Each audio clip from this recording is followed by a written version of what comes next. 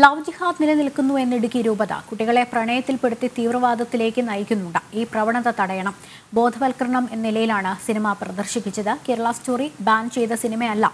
Cinema പ്രദർശിപ്പിക്കരുത് എന്ന് പറയുന്നതിലെ ഔചിത്യം മനസ്സിലാകുന്നില്ലെന്ന് ഇടുക്കി രൂപത വിശദീകരിച്ചു. സ്റ്റോറി എന്ന് പറയുന്ന സിനിമ ഞാൻ മനസ്സിലാക്കുന്നത് ബാൻ ചെയ്ത സിനിമയൊന്നുമല്ല. അത് വിലക്കുകളുള്ള സിനിമയല്ല. അത് ഒ ടി ടി പ്ലാറ്റ്ഫോമിൽ റിലീസായിട്ടുള്ള പടമാണ്.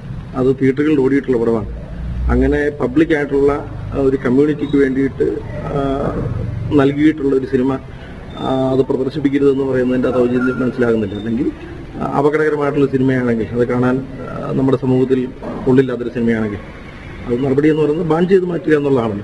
ഇതങ്ങനെ നിയന്ത്രണങ്ങളുള്ളൊരു സിനിമയല്ല ഇത് ഒ ടി ടി റിലീസിങ് നടന്നിട്ടുള്ളതാണ്. തിയേറ്ററുകളിൽ പ്രക്ഷേപണം ചെയ്തിട്ടുള്ളതാണ്. അങ്ങനെ ആളുകൾക്ക് സംലഭ്യമായിട്ടുള്ള സിനിമ ആയതുകൊണ്ടാണ് അങ്ങനെ നിരോധിക്കപ്പെട്ടൊരു സിനിമയൊന്നും അല്ലല്ലോ. നിരോധിക്കപ്പെട്ട സിനിമയല്ല നമ്മൾ കാണിച്ചിട്ടുള്ളത്. നവജിക എന്ന് പറയുന്ന പ്രണയത്തിൽ കുടുക്കി ആളുകളെ കൊണ്ടുപോകുക എന്നുള്ളതാണ്. അതുണ്ട്.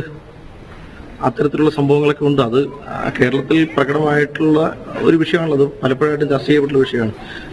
കുട്ടികളെ പ്രണയത്തിൽ പെൺകുട്ടികളെ പ്രണയത്തിൽ കുടുക്കി കൊണ്ടുപോകുക എന്നുള്ള ഒരു രീതി നാട്ടിൽ നടപ്പാക്കുന്ന ഒരു വിഷയം തന്നെയാണ്.